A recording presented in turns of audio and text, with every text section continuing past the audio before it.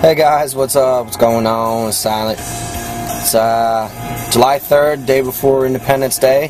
Happy 4th to everybody out there. Um, this is episode 1.2.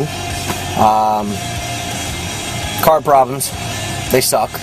But, you know, uh, yesterday I showed you guys what uh, what problems I had with my car yesterday. Uh, but today I wanted to uh, I want to bring you guys uh, I fixed I fixed the problem yesterday. Um, I'll show you guys what what happened yesterday. Was uh, you guys are just tuning in? I uh, this piece right here. There's a little little lip that holds the L bracket into this piece here.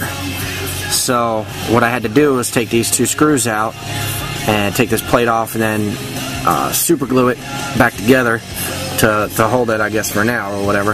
Um, but I had super glue on these three fingers right here. Uh, it's still kind of there, still kind of rough, so it sucks. But it is what it is. But now, now the, uh, the piece works. So I can unclip it and move it around. So it's good to go.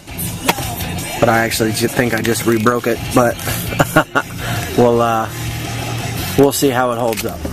But just wanted to uh, give you guys a quick little video today and let you know. I said yesterday I'd bring you guys back when I finished it.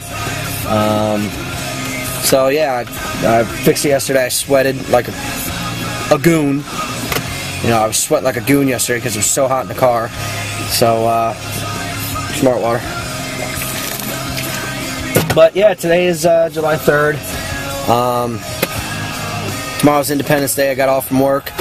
Uh, yeah, so uh, I'll probably bring you guys a video tomorrow just for you know Independence Day, and uh, see you guys later. Peace.